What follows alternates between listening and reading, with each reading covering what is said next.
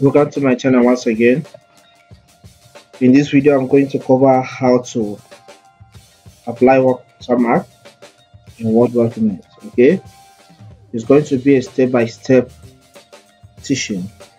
The beauty of watermark is that it makes your document looks unique okay? Make it look unique. Maybe you have a company you know you can create a letter heading with that watermark attached to it the watermark can be a company's logo or just an image or just a text you know or just few text just to explain your brand or to mark your brand. So that whenever somebody handles that document you know that this document belongs to such a company.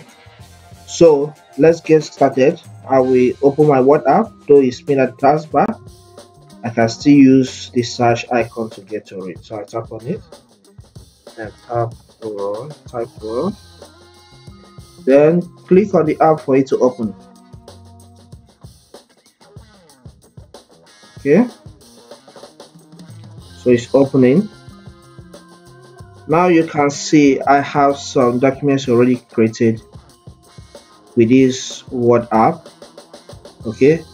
These are templates you can still use to create your document and then insert the watermark inside okay I can choose blank I can okay let me just work with one of the documents I initially created okay so I will tap on this for it to open now I have here Godwin Building Material Company.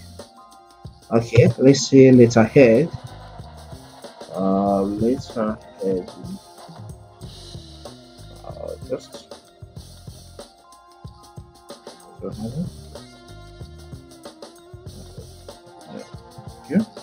It's a heading.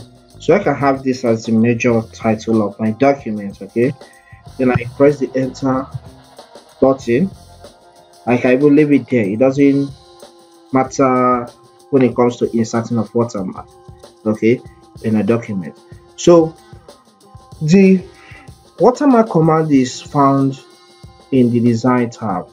By default you are loaded at on the home tab all right so i will click on the design tab.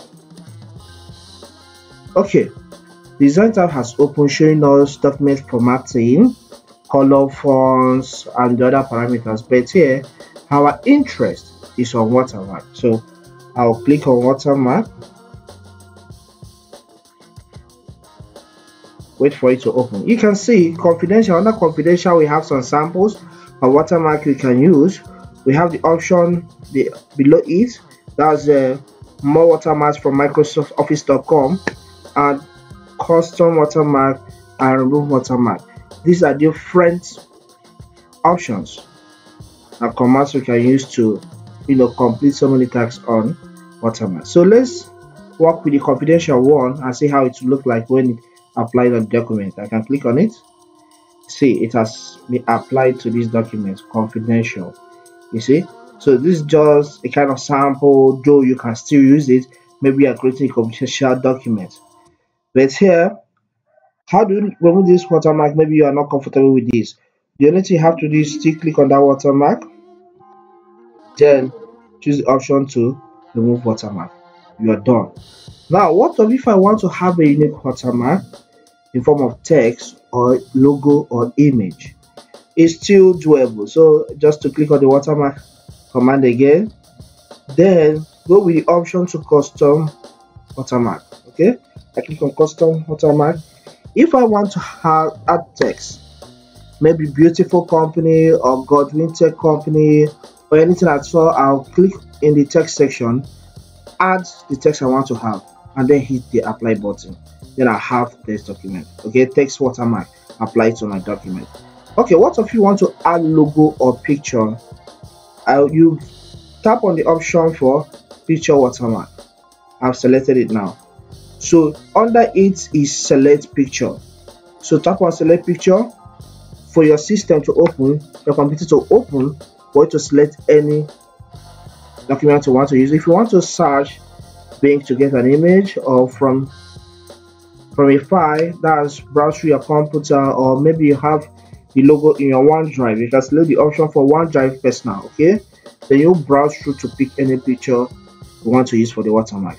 But here I assume that I have a picture in my computer. So I'm going to pick the picture from my computer. So I'll select the option for from a file.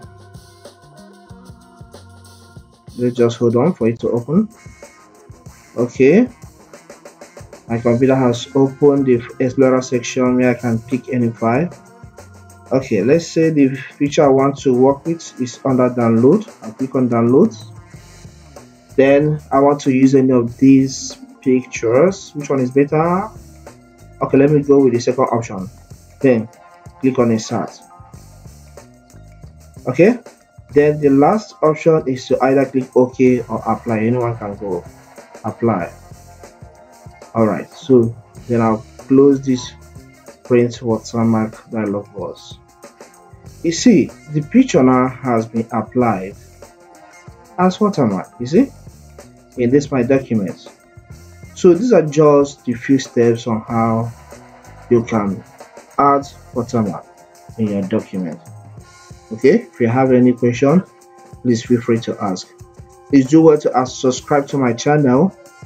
Leave a comment like this video if the other videos you want me to still make on any microsoft application feel free to drop in the comment section